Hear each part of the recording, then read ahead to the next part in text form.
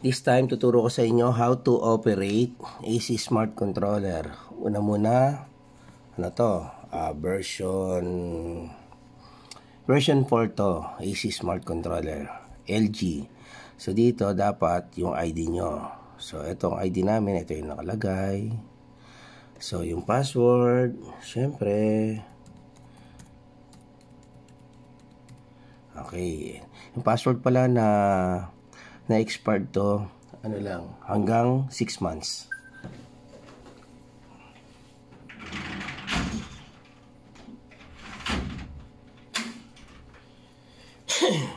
Sorry.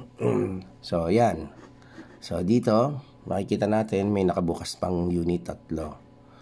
Ayan yan. So, itong unit na to, line 1. So, lahat ng aircon dun sa labas, may mga nakataging. Ayan yung tagging nila. 1, 2, 3, 4, hanggang 23. Ito yung sa system 1 o line 1. Ibig sabihin, sa isang sa isang outdoor unit, meron kaming indoor na tinatawag uh, meron kaming 23 indoor. So, 1 outdoor, 23 indoor. Ayan. Ang tawag dyan, split type. Pero, pag sa building, ang ginagamit na uh, term dyan is hindi split type. BRF. BRF. Um, variable refrigerant law. Correct me if I'm wrong. Okay. So, kaya niya maglagay uh, ng 23 unit. Okay. Sa line 2 naman namin, ayan. So, 1, 2, 3, 4, 5, 6, 7. So, may 7 unit lang yan. Okay. Sa line 3 naman namin, merong 1, 2, 3, 4, 5, 6, 7, 8, 9. Ayan. So, Ayan. 3 Okay. Or Okay, 1, 2, 3, 4, 5, 6, 7, 8, 9, 10, 11, 12, 13, 14, 15. 15. 15 units. Then, ito, ERB, Energy Recovery Ventilation. So, parang exhaust to.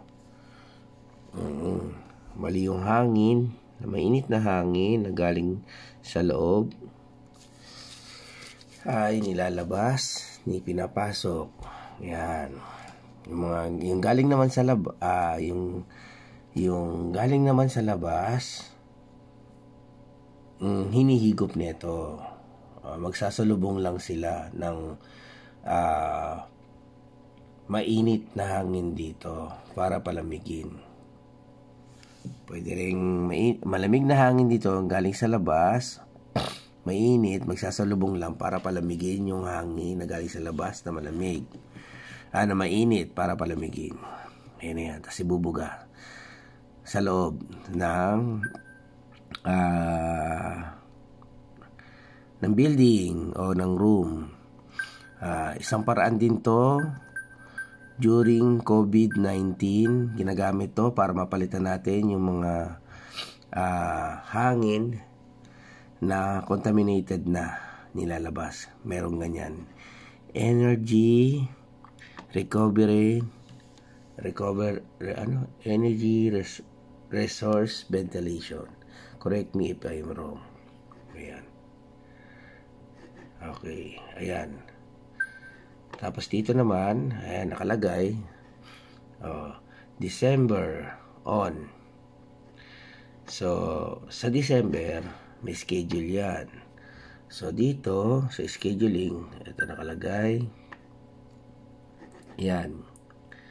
So, buong taon niya naka-schedule anong oras bubukas, anong oras mamamatay.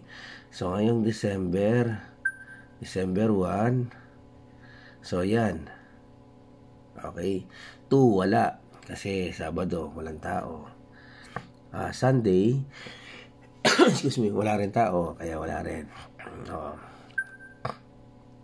Oh, Monday 11. So, mag-on siya ng 5A 5 a.m. 52 units mag-on. Kasama niya dyan yung uh, ah, ERB. Pagkatapos, mag-off naman, mag-on siya ng 5 a.m. Mag-off siya ng 8 p.m.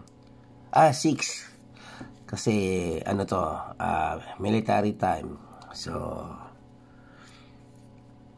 ang alauna nila sa 13, 14, 15, 16, 17, 18. So, tama. 6 hours. Ulitin natin. Military time. Kung 18 to, 13 yung 1, 13, 14, 15, 16, 17, 18. So, yan. Alas 6 ng gabi mag-off. Okay. Uh, madali lang naman mag-add nito. Ang add, eh, ito, add, madali lang. Ito yung tutorial sa add and scheduling. Ganyan lang. Add.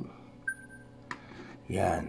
Tapos, lagay mo, halimbawa, uh, ang, ang pangalan ng schedule is schedule 1. So, anong date? So, time. O, lalagay mo, sabihin na natin 5 a.m. O, on. Tapos, anong date? Sabihin na natin December. Ayan, o, kunyari, uh, December December to ito 1 o sabihin na natin kunyari 7 papalitan lang natin to. Ayan. Tapos confirm. O, pag na-confirm mo na. Tapos dito ayan. Uh, December 1 pa rin. Tapos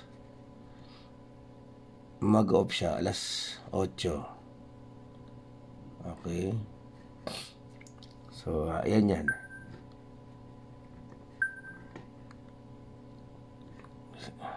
Confirm. Pag naka pag nalagay mo na yan, gagawa uli, gagawa ka uli ng panibagong ganyan, pero yung off status naman. Okay? Yan lang. Pag i-off, pag i-on yung aircon, pindutin yung 1, halimbawa, Sir, mainit ito. Oh. Sir, ano pong aircon number nyo or FCU number? Uh, sir, number 01. Ito, sa ngayon, room, room temp niya is 24 yung nare-read niya. So, ito yung settings. Pwede mong on. Yan yung on. Pag binabaan mo yung temperature, lalamig. Malamig na hangin. Ito, cool. Heat, auto, dry fan. Oh, so, dun ka sa cool tapos low tapos 22 settings pero dapat more, normal lang ng settings is 24 25 set mo lang apply kikita mag magbo-blue na yan oh. so naka-on na siya. Off mo naman. Ganun lang. Off apply. Okay. Then balik. Log out. That's it